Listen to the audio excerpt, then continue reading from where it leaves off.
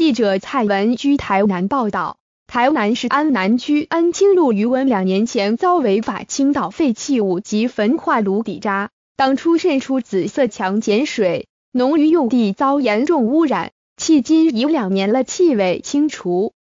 最近大雨，焚化炉底渣因雨溶出，余温成了惊悚的咖啡色。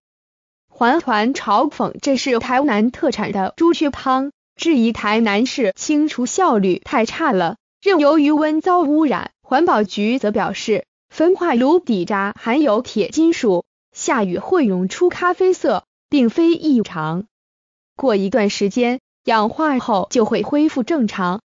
今天下午到现场勘查时，余温水色已无明显差异，pH 值偏碱，但并无其他重金属。至于为何尚未清除？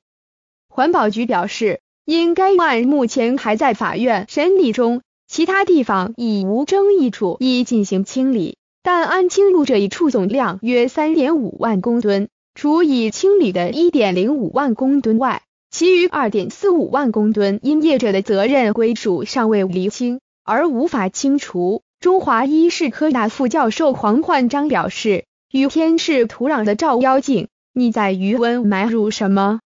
他会回应你什么？